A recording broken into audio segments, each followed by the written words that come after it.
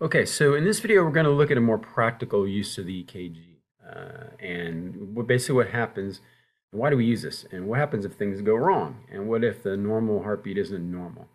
Uh, and so I'm just going to walk through a few things that we can see and uh, how we use the EKG in very practical purposes. Um, so if you recall, this is our, um, our standard EKG strip right here. Uh, remember P wave, QRS, and T wave atrial depolarization, ventricular depolarization, and then ventricular repolarization. And you know the beauty of this, it allows us to know not just what's going on with the conduction of the heart, but what's going on with contraction, again, because the two are related. So one thing we use the EKG for uh, is to look at abnormalities in this to get a sense of what may be going wrong with the heart.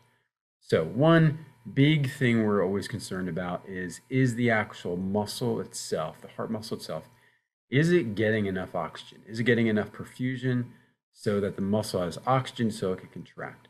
Uh, we can go through metabolism and why that's important, but oxygen, ATP, I think we get that.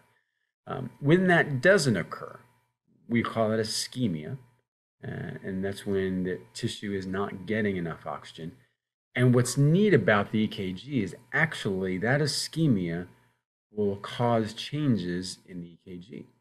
So instead of having to put a sensor in someone's heart, which is really hard, uh, we can actually just look at the EKG. And so one of the things we typically see when tissue becomes ischemic, in other words, some heart tissue becomes ischemic, is that this P, the P wave, QRS, and this T wave, this ST segment, in other words, this area between when the S S wave ends and the T wave begins. We call it the ST segment. This segment starts to drop or depress. We call this ST segment depression. Uh, and it is the classic sign on an EKG that the heart muscle is not getting enough oxygen. Uh, in fact, this is so important. if you ever had a stress test done or know someone who has, this is one of the key indicators we look for is when the heart is stressed, whether it's through exercise or something else, is that increased need for oxygen being met? Um, and if it's not, we'll see ischemia, and that's a bad thing. Um, that means there's likely some heart disease there, and potentially some further clinical steps need to be taken. Uh, and so I'm going to kind of give you a, a, live version of this. This is our EKG simulator. Uh, we actually have this in the lab here. Um, and this is our, our, our, demo version, so it doesn't have all the capability, but um, this is a normal sinus rhythm. And so again, you can I can pause this so we can look. Let me hide our ruler here. Uh, we have our P wave, QRS, our T wave. Uh, if you take advanced clinical physiology, which um, a number of you will, we'll go way more into depth in what all these things mean and the grid and all that. Uh, just know that there's basically P wave, QRS, and a T wave. Well, let's look at what ST segment depression would look like. And so if we pull up all our cool things we can do here, um, oh, there it is, ST depression. So, oh, that's, we can't do that. So, um, forgot the demo, we can't do that. But we would see is that this area right here would begin to drop. You see that as ST segment depression. Now, that's not the only thing that can go wrong. In fact, there's a lot of things that can go wrong. I mean, quite literally, any process in this, any step in this process, there can be an issue. Let's start with some common ones that likely all of us deal with. Um, one of these is what's called a PVC, or a premature ventricular contraction. And let's pull that up and show what one of these looks like. Um, do, do, do, where are we here? Actually, let's do this. Let's just throw in a PVC. So there we go. So, oh, there we go. We'll pause that. Okay. So what you'll notice here, this is our normal sinus rhythm. P wave, QRST, normal, normal, normal. And then we have this ugliness. This is what we call a premature ventricular contraction or PVC. Uh, easy way to think about this is it's premature, early. And if you kind of think of the rhythm, if you kind of, if this is a song, right, it's like boom, boom, boom, boom, boom. It's like it's early. Whoa, premature.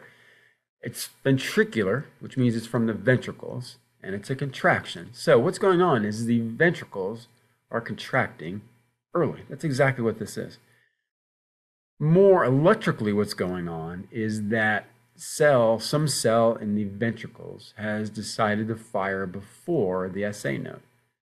Well, if that happens, what happens? Well, that means the, the depolarization starts in the ventricles. But again, remember, if one cell in the heart depolarizes, they're all going to depolarize intercalated discs. And so we have this backwards depolarization, and it looks like this ugly looking mess here. We call it a PVC. So this is one example. And by the way, we all have these. Uh, every one of you has these, probably once, twice a day. I have these like once an hour. I'm getting old. Um, they're in and of themselves fairly harmless. Uh, there can be issues with these, but for the most part, these happen to all of us. Um, not uncommon. All right, so that's a PVC. Let's look at PAC. so we have normal. There's another PVC. Okay. Now we got couplets. Let's go back to just normal here. Okay, so here's our normal rhythm coming up. There's our normal rhythm, right? Boom, boom, boom, boom. And now we'll throw in a PAC here. All right, there it is. Okay, so look at, let's look at what happened here. We have normal, normal, normal, boom, early. This is what's called a premature atrial contraction. Uh, in other words, early atria contracting. Um, now, this you may notice looks a lot different. It is totally different. Um, it's not wide, it's not ugly, and the reason being goes to the physiology.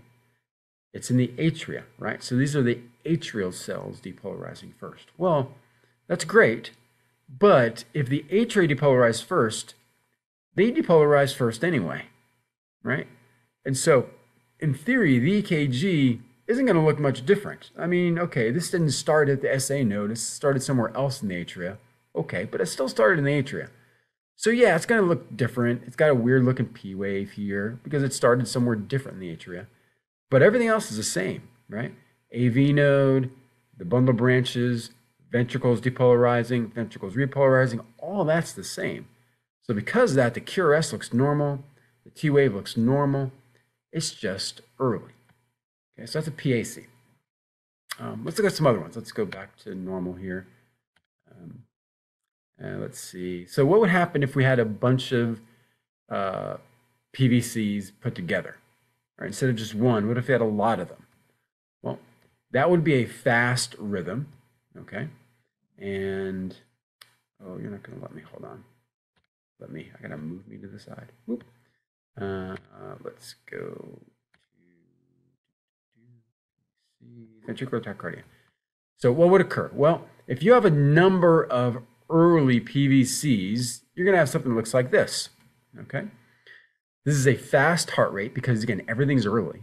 So in in EKG talk, we call we take it from the Latin, where fast is tachy, cardia is heart. So we say this is tachycardia, fast heart rate. And it's coming from the ventricles, so we call this ventricular tachycardia.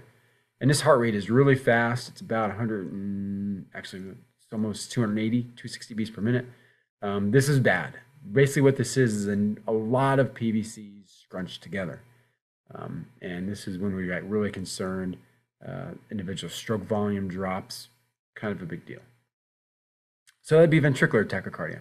Uh, there's other ones we can look at here. Um, let's see what other good stuff. Um, atrial fibrillation. I think we can do that. Yeah. Uh, fibrillation, this is really common. Uh, you probably see commercials on this, medications to help with your AFib. Uh, that's not a lie, AFib, lie, get it? Uh, it's called atrial fibrillation. And literally what's going on here is that instead of the atria depolarizing, there's numerous cells in the atria depolarizing. And so instead of a nice contraction, we have a lot of kind of quivering going on.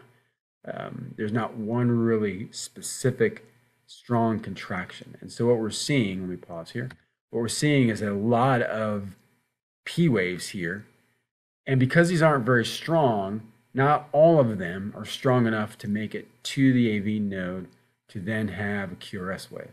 So we get kind of this weird rhythm that's out of rhythm. I mean, you can kind of tell like there's there's a little space there, but there's more space here. It's really not in, in rhythm, um, and a lot of P waves.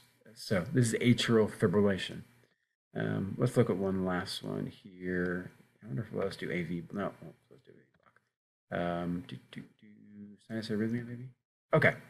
So here's another one um, that actually many of you probably have.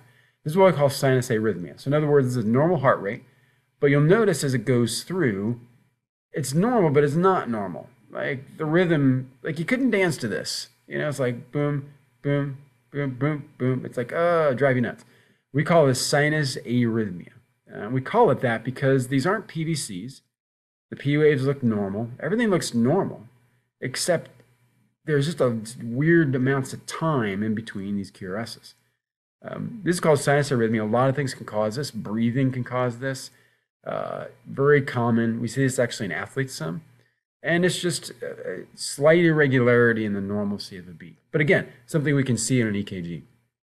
Uh, there's some other examples in your uh, your notes here as far as some other arrhythmias you can look at, ventricular fibrillation, um, ventricular tachycardia we talked about, PACs, PVCs. So you can take a look at that.